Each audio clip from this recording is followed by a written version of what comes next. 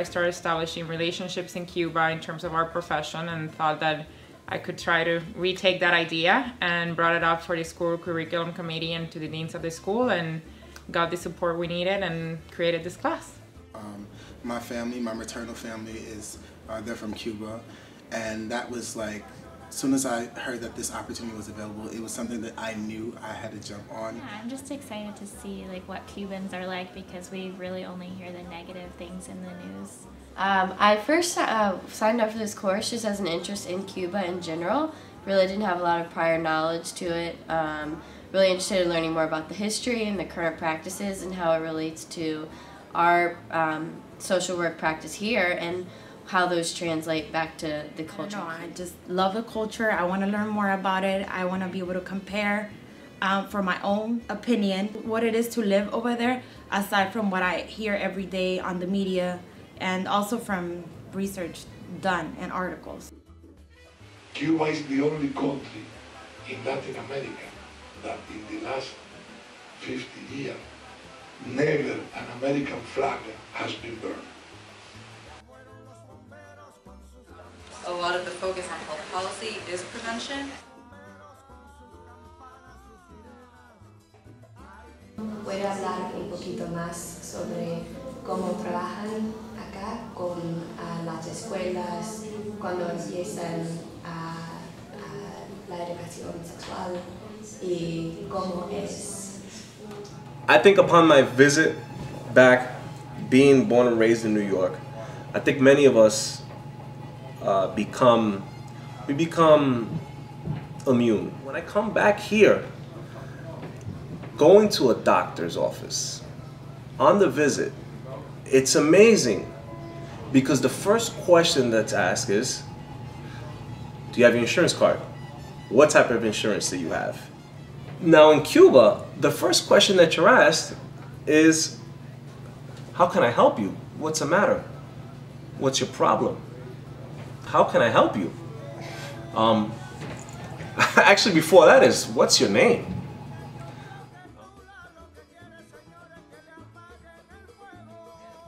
In how they management themselves in terms of beliefs, in terms of practices, and also in terms of kind of holding up to their faith whenever adversity hits them.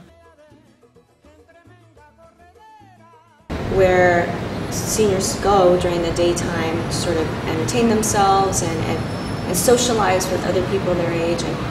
Tenemos que reconocer que fue un momento que el trabajo social y el trabajo comunitario cogió mucha fuerza. Queremos aprender de ustedes y es un privilegio estar aquí, aquí con ustedes. Muchas gracias por darnos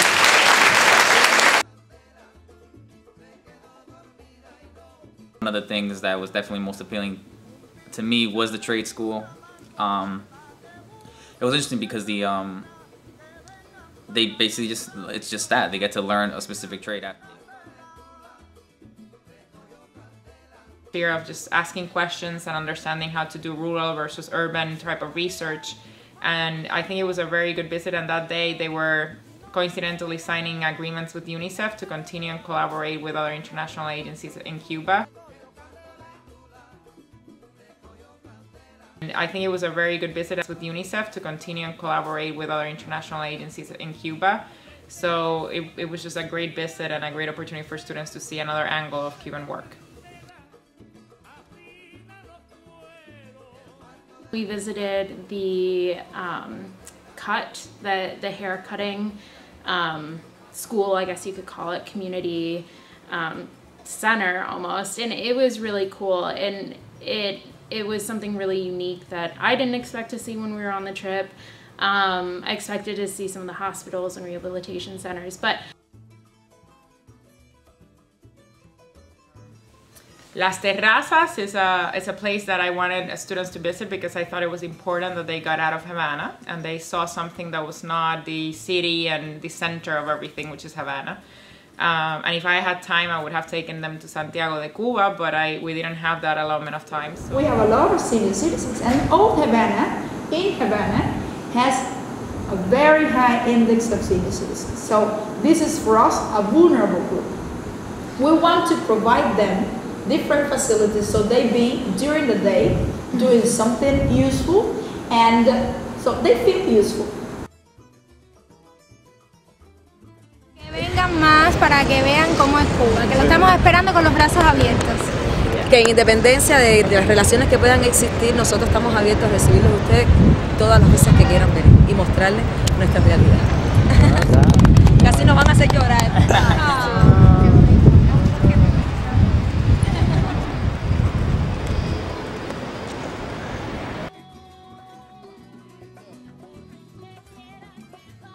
explain it. I, I want to go back. I love Cuba. I have established that. I love the people. And yeah, I think I think those are the three things that pretty much stood out to me. Um, till this day, I think we will all agree as a class that everyone we speak to about our experiences has no idea and cannot wrap their head around what it was that we experienced because they didn't live it with us. A lot of us really had some impactful relationships that grew even just within a week. And it was very, very difficult to have to say goodbye um, and not know when we would ever be seeing these people again or when we would ever speak to them again. Um, and there was something so unique in sharing an experience with them and having them teach us about their culture. Um, it was life changing.